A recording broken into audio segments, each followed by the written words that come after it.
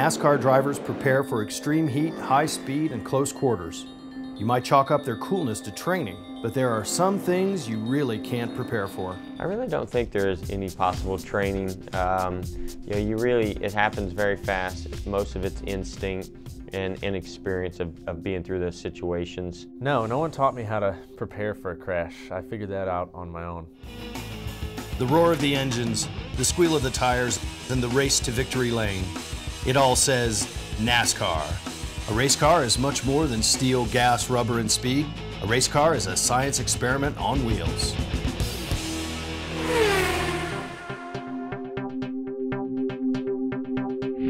When it comes to safety, it's not necessarily how fast you go, it's how fast you stop. Going from 180 miles an hour to a stop in a tenth of a second, about the time it takes to hit a concrete wall, corresponds to 80 Gs. The G stands for the gravitational acceleration that the Earth is always pulling on your body with. So if you experience multiple Gs, it means multiple times the force that the Earth is pulling you with. The force the driver feels is his weight times the number of Gs. In a crash, a 200 pound driver experiencing 80 Gs feels a force of 16,000 pounds. So when you decelerate, you slow down. And you can slow down quickly and experience lots of Gs, or you can slow down over a longer time period and reduce the Gs that you feel. Safer barriers are steel and foam energy reducing barriers. The first safer barriers were installed in Indianapolis Motor Speedway in 2002, and now they're at every NASCAR track. See it move? The old concrete wall was not going to move, and that's what this safer barrier is all about. The idea is that they lengthen out the time that you're you know, impacting or changing directions. It gives you a little less force. Safer barriers have an outer wall made of hollow square steel tubing separated from the inner concrete wall by foam blocks. The outer wall is flexible enough to move when a car hits it. Well, when a car hits the wall, the wall deforms and moves, and it does that over an extended period of time. That lowers the G-force felt by the driver. Because the walls give when a car hits them, some people call them soft walls. Those are usually people who have never hit one. A safer barrier is, is not a soft wall. Um, I used to call them soft walls, and then and I've ran into a few of them. Definitely safer barriers now.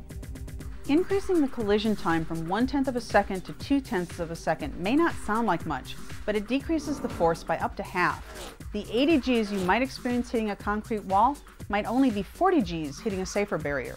The unique thing about it is if you hit it lightly, it, you don't feel any difference and maybe even sometimes it might even feel a little bit uh, stiffer or, or, or, less flexible.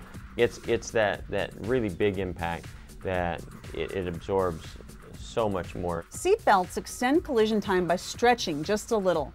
Like the safer barrier, the movement of the seat belts increases how long it takes you to stop, and that decreases how much force you feel. When your body moves, you want to control it, uh, but because if we're going 60 and we stop, something's probably going to happen to us if we're not allowed to move. Your guts are going to hit something that's not supposed to hit. You know, your brain could hit something. The safer barrier controls how fast the car stops.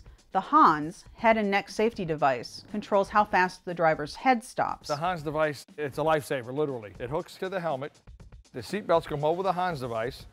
Once the seat belts stop the movement, these straps, which are attached to your helmet, stops your head. We're constantly thinking about keeping the driver safe. It doesn't matter how long it takes to build, as long as we keep them safe. I've been through some crashes years ago where I thought I, I, probably shouldn't have survived. Maybe it's because I was young, maybe I hadn't hit a lot of things at the time, but I had no Hans device, no safer barriers, no carbon fiber seat that we have now, or some of the padding. If I took that same impact today, I, I probably would have major injuries or, or, possibly not even survive. So safer barriers made a huge difference. Race car drivers love to go fast, but when it comes to stopping, they're happy to do that as slowly as possible.